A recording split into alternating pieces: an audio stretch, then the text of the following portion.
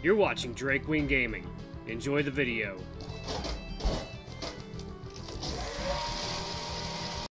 Hello everyone, Nary here from Drakewing Gaming. Some of you know me on Twitter, The Gaming Dragon. As you can see, I'm back at you with another episode of No More Future, and I have in my company Sedge. That's me. So, I think I think as well. so we're just gonna pick back up where we left off. Uh, Sedge, are you gonna be voicing anyone today? Yep. All right, perfect. Just uh, let me know, or just talk before I do. Alrighty, here we go, guys. Sit back and enjoy the video. Alright, start the alarm. There we go. Alright. Hopefully, as you head towards the labs, you'll find something to distract you from all these problems you seem to be running into as of late. Ooh, that's pretty. Ooh, I could see that scene being right out of an indie game. I remember walking through these streets a few days ago alongside Mary and some of her staff, and a mob of relentless journalists gawking from a fair distance away. You never got a chance to appreciate the city that day for obvious reasons. Now that you're almost by yourself, however, you can finally spend some time to take in the wondrous sights. New Relay is a city of technology and innovation, and it shows. Every house and apartment complex is compact and efficient in its design, while also showing some modicum of personality. There are exotic gardens on every lawn and solar panels on every roof. That's about where the similarities between the different properties end. Big, splashy swimming pools, meticulously crafted steel gazebos, multi purpose sports fields. Everywhere you look, there's something crazy to feast your eyes upon, as if the houses were competing with one another to come up with the coolest design or the most unique gimmick. It's almost like someone built an amusement park right in these people's neighborhoods.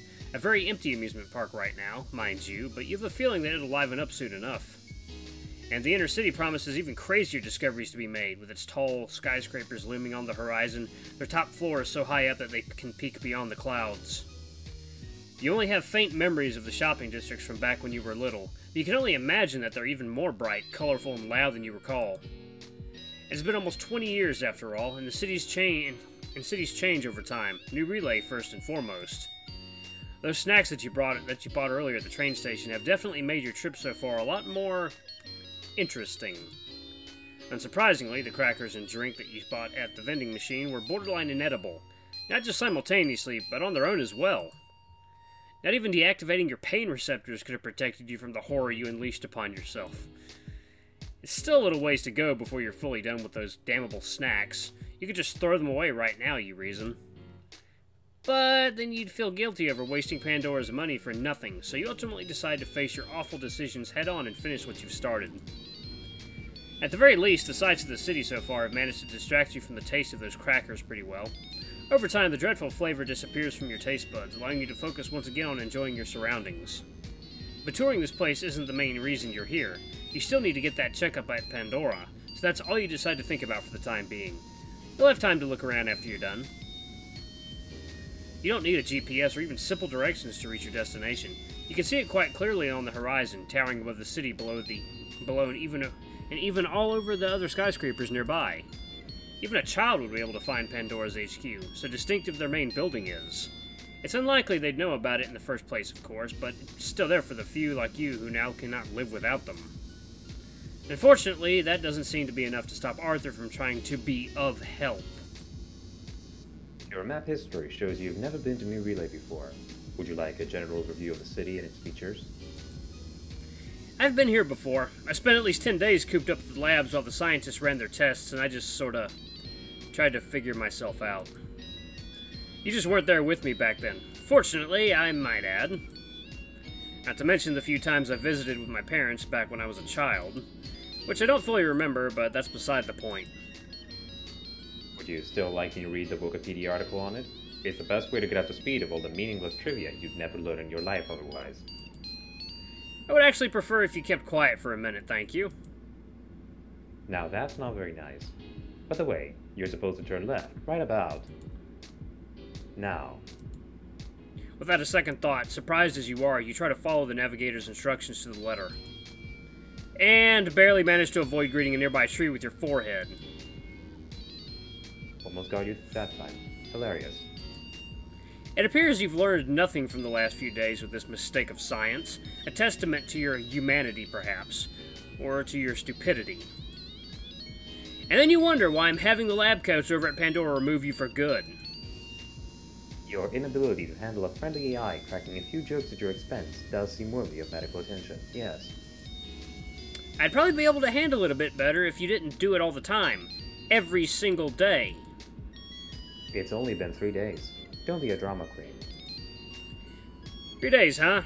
Felt like three years. Now shut up already. I need to concentrate. But I have so many more jokes I'd like to attempt. The only thing you're trying to attempt on is my life. You sigh once again as you question your decision to continue living for what must have been the eleventh time by now. I really should have paid more attention when Mary explained how you worked to me the other day. Knowing my luck, she probably mentioned how to turn you off and I didn't listen.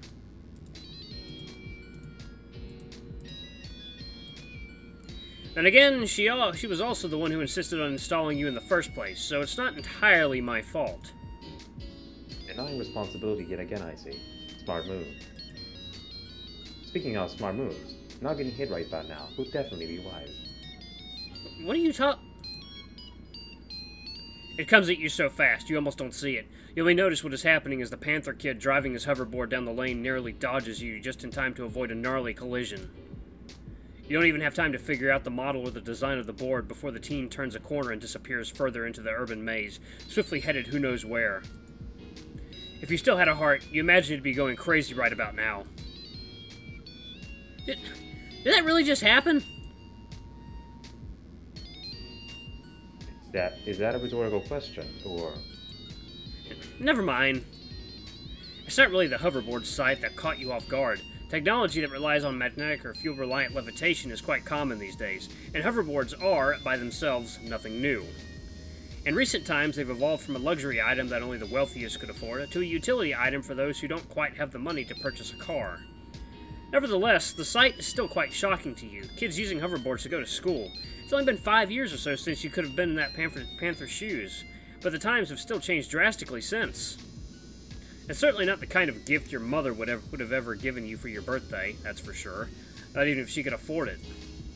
Maybe that's why you always found hoverboards so fascinating. Because for you, they were always just out of reach. Even so, that was pretty fast. Compared to all the boards I've seen, that was at least twice, if not thrice as quick. are you not worried for that kid's safety? He could have turned you into Panther Goo had he collided with you. You heartless fiend.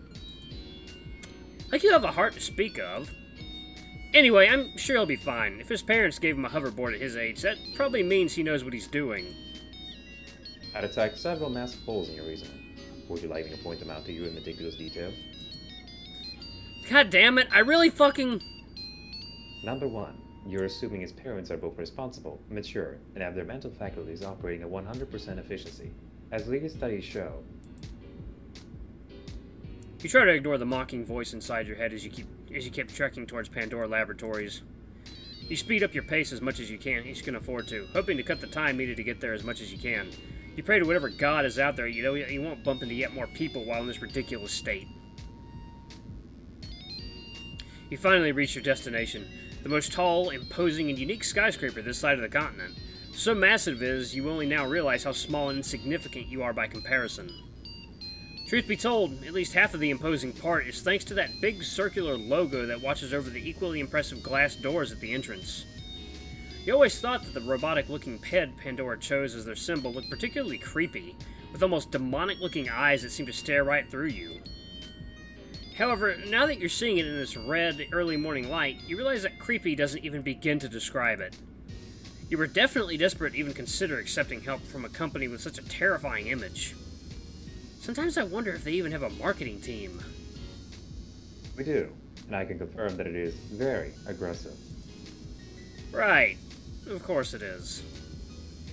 Other than the logo, the other eye catching feature about the iconic building is that huge glass sphere at the top, which shines from within almost like a second moon. What's up with that thing, by the way? I always wanted to know what was up there. That information is confidential. Oh, really? I didn't think it. Hold on. Is it, though? Perhaps not. Oh, come on. Be useful for once in a while and tell me what I want to know. What's the point? You're going to ask whoever you're going to replace me with anyway. Oh, someone getting jealous, huh? Maybe remorseful over how much of a prick he's been in the last few days? Besides, I couldn't think of a way line to accompany the description you asked for. So that's why. Figures. You only now realize how ridiculous you must look right now. An android seemingly entertaining a whole conversation, even getting angry with none other than itself. You hope that there are no journalists hiding in the green bushes nearby, or Mary might never let you live this down. For some reason, you always had a knack for chatting with yourself whenever you were alone.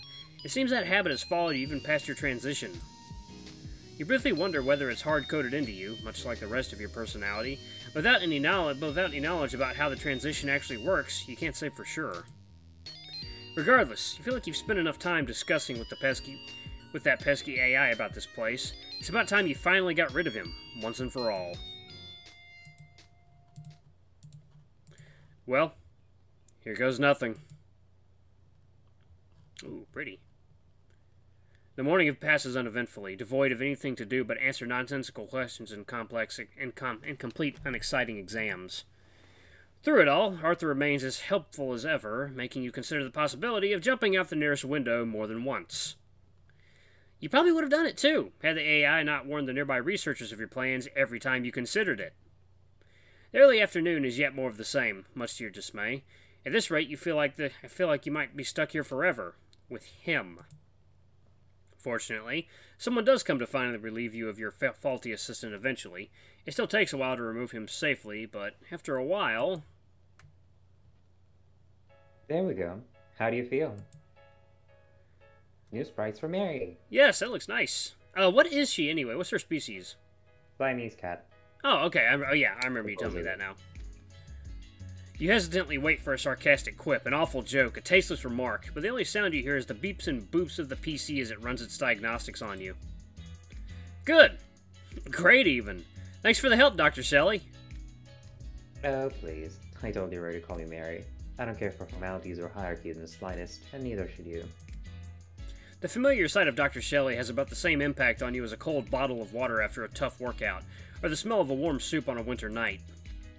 You never could have imagined how much you'd, you'd come to rely on her since beginning this strange journey, both physically and emotionally. Still, you've yet to fully figure her out. On one hand, she's always been sympathetic to your plight and eager to help you however she could. On the other, she's definitely got a few screws loose in her brain, which you can almost physically see from time to time. Regardless, you can't deny that she's remarkably helpful. When you told her about the issues you've been having with Arthur, she almost immediately offered to take him off of you, free of charge, and on the next day to boot. Regrettably, the rest of her team just had to have their way with you before you could come to your rescue, before she could come to your rescue. Here, take a look at this. The lady suddenly presents her open palm to you. In it lays what looks like an old fashioned USB, about as long and as wide as your index finger. Bright red lines shine across its length, running up and down rhythmically like waves in the sea. You immediately recognize it. It's what she brought with her to your place, as she personally delivered you back to your normal life a few days earlier. Well, normal isn't quite right anymore, but that's beyond the point. So, that's Arthur? Yep, troublesome as he may be, he's still a state of the art B grade. Can I exactly throw it away, you know. As long as you don't give him to anyone else in his current state. Yeah, maybe one day, once he find a way to make it a little less. Irritating? Yeah, that. I'll make sure to send your complaints to the guys over at the AI, at the AI department later, so they know exactly what to work on. Can't have our precious synthetics killing themselves a few days after being reborn because of some overpriced, obnoxious software. Oh, you heard about what happened before. I apologize about that. It was just a joke, I promise. That's okay. No need to apologize to me. If anything, I'm to blame for getting you to try this bad boy on. I recognize my mistakes when I make them. Commendable. You remember plenty of teachers at school with far less integrity than the infinitely more powerful woman before you. Relatives, too. Now, if you'll excuse me, I will put this tiny jerk back in his cage. Should only take a minute. No worries. Go right ahead. The cat walks over to the other side of the room, where what can only be described as a wall of drawers and lockers awaits her. Is she just going to shove Arthur inside one of them at random? Or does she have some sort of container for him lying around somewhere? As you ponder that, you take a brief look around the room. You've seen it quite a lot of quite a lot of times over the course of your stay here, but every time you're here it feels like there's a new nook or cranny to explore. There's hardly any space to move around thanks to all the desks and chairs lying around, and you can't count all the times you've hit a corner or tripped on something accidentally. Here, give me one moment. Let me, uh. What's the uh, text speed? Okay, yeah, I'm gonna make it a little faster. I'm a fast reader. Yeah, that's fine. You can't thank Mary. you can't thank Mary enough for teaching you how to deactivate your pain receptors at will. Had she not, you'd probably already be back in the hospital due to the pain. There are computers with lit screens everywhere, as well as open folders spread across almost every desk, their contents illegible even to you. Tidiness and order don't appear to reign in this room, from what you can tell. I'm surprised about all the papers lying around. I thought my family was the last one left using this stuff. That's not very surprising, sadly. People often underestimate just how much more secure physical documents are than digital ones.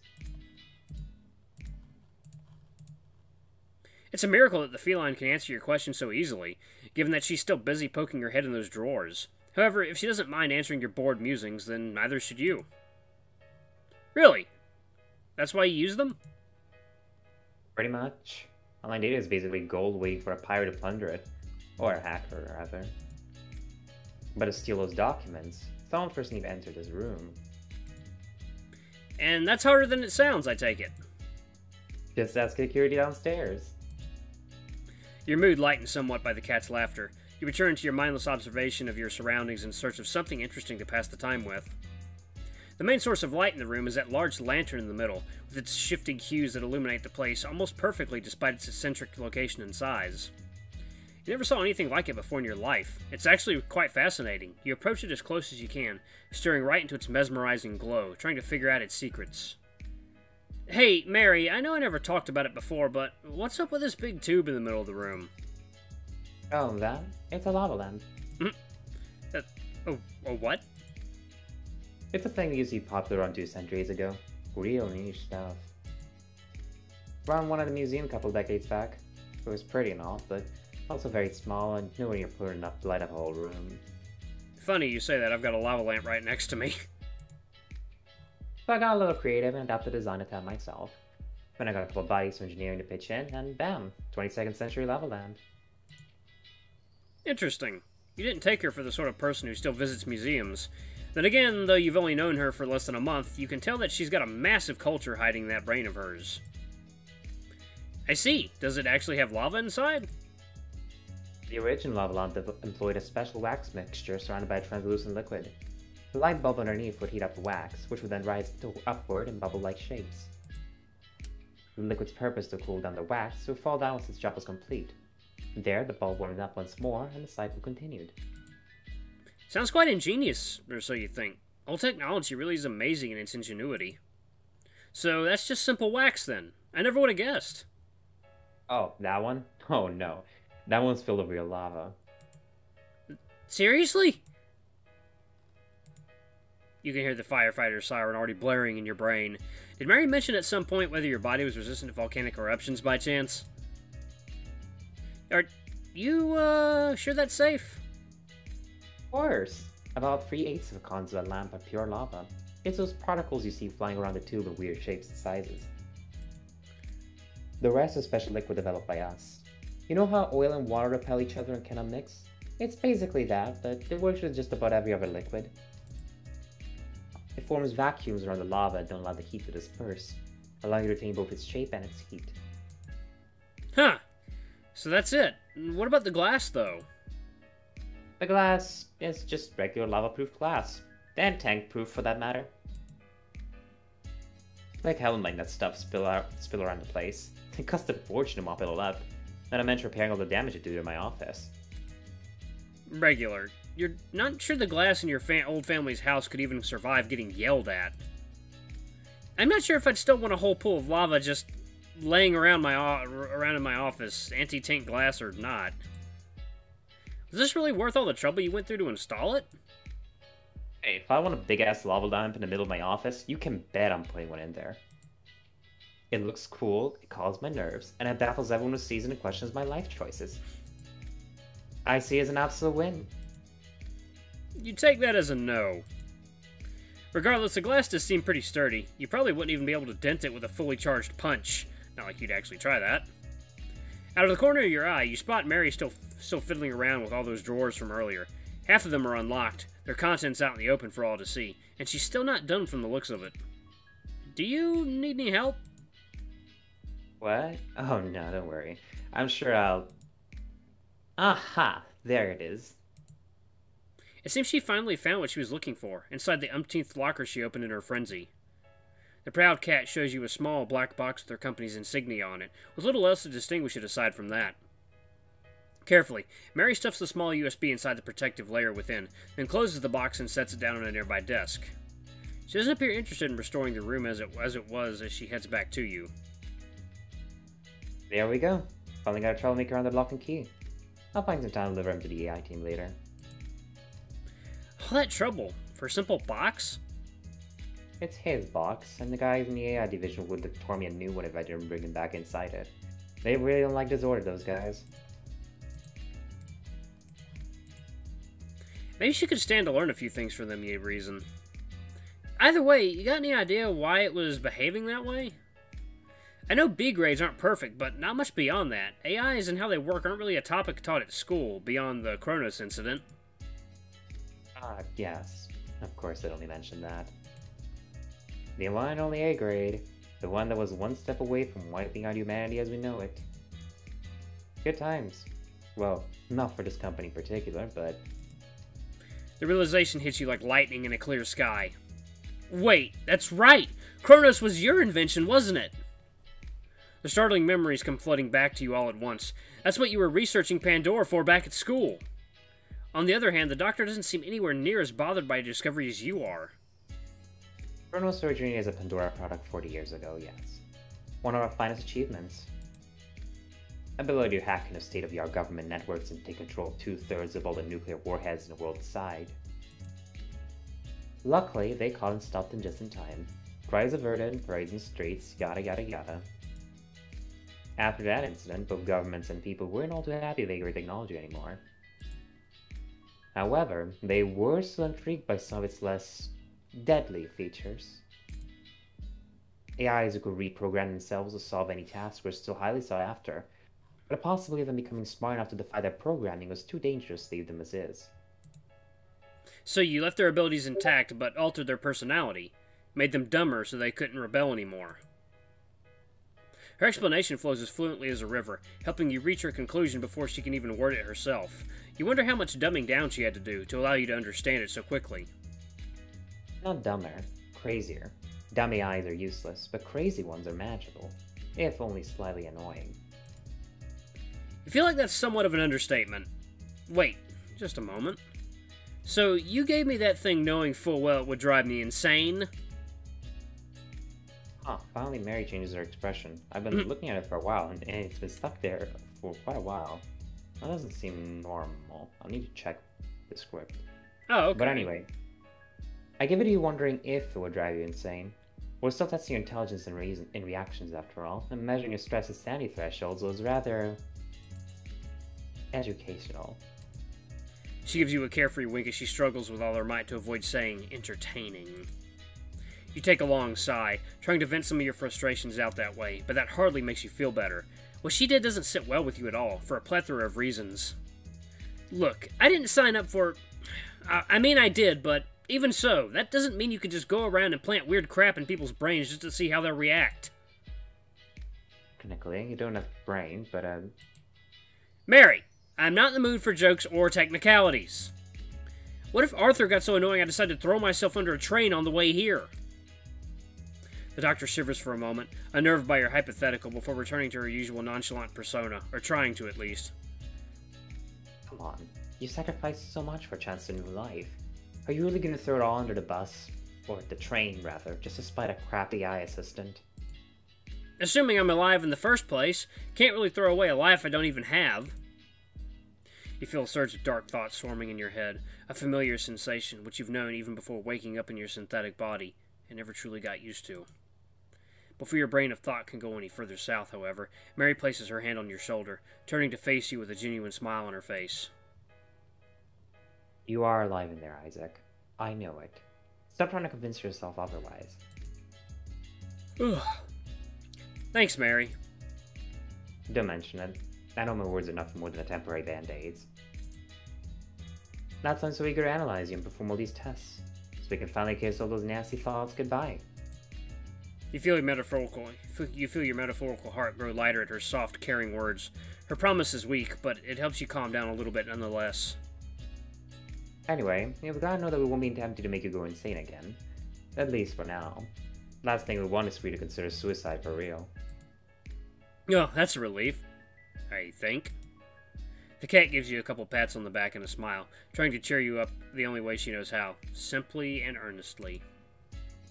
Like she said, it's not a perfect solution, but knowing that she cares does help a little bit, if nothing else.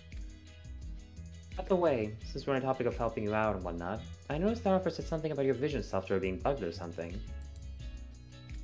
Right, you'd almost forgotten about that. Which is strange because you can see them even now. The weird little bugs flutter around the room like butterflies, moving in tandem with the lava inside that lamp in a beautiful, unpredictable ways. Yeah, don't don't worry about it. I hardly even noticed that. And besides, it's quite pretty to look at. Really? That's odd. A little unexpected, but I'm glad you're liking it. You can still see perfectly despite it, right? Yeah, of course. It's nothing major, just a happy little distraction that's pretty to look at. If it weren't a bug, I'd be tempted to call it a feature. Huh. That'd be funny, you claim. We're scientists, not clowns. We won't up to our mistakes.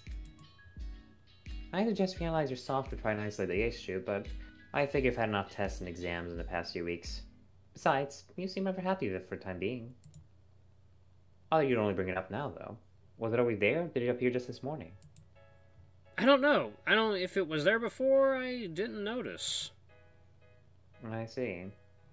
Either way, it seems harmless for now, so I don't see the point doing anything about it. Make sure to tell me if it starts to bother you, though.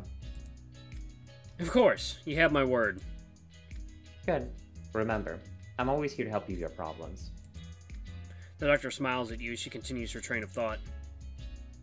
Speaking of, I never did tell you what we're gonna do now that we definitely put Arthur in the timeout box. Huh, yeah, we didn't. I totally blanked out on that. Arthur was supposed to help me get acquainted with all these new features I supposedly have access to, wasn't he? Things like internet access and control over suboptimal attachments? Subcutaneous. Under the skin, not underperforming. And oh boy, if you think all you can do is shitpost social networks without need of a smartphone, well... You say that, but I still have no idea how any of these things work. Arthur managed everything for me back home, but now that I get rid of him, what am I supposed to do? Got any synthetics for dummies ebooks I could download? Well, it's not going to be so simple. Ideally, we start some sort of class of synthetics to learn how to adapt to new bodies and everything. But our logistics are currently too spread out to allow for anything of the sort. Not to mention, we don't have it, we simply don't have the time or the manpower to pull off something like that. So, what are we gonna do? Hire a tutor, of course. A tutor? The feline suddenly turns to face the entrance to the office, a smug grin on her face. Speaking of, Nats, you want to make a dramatic entrance, didn't you? The door to the room slams open on cue with the cat's beckoning, sending your heartbeat into a frenzy. A golden maned canine rushes into the room, her stubby tail poking out from her tight brown trousers. Her snout appears contorted into an emotion vaguely resembling anger for whatever reason. Oh, did and you This is the new character. did you want me to voice her, Um, or, or is this where Uh, you I want to can end voice it? her if you want. Uh, we can end this now, or we can continue for another 10 to 15 minutes and introduce another character before we stop. Oh yeah, we can end it now. Alright, then we can meet this new character the next time. All right, guys, this is Nats. What an adorable character. What an adorable little sprite. I like that. she looks so. She doesn't look angry. She looks pouty. I love Pouty. Pouty's adorable. Yep. So, Well, can you tell us uh, anything about her? Is she a technician or? We'll just have to see. Ooh, I like that. Next episode. A woman of next mystery. And All right, guys. Thank you. Thank you all so much for watching. Sedge, is there anything you wanted to say before we go? uh mm, bunk. Bunk. Okay. All right. That's- That's fine. we can continue it next week, guys. I hope you enjoy everything. Don't forget to like, comment, subscribe, and ring that notification bell to the next video. I love you all. I'll see you next time. Bye bye. Bye.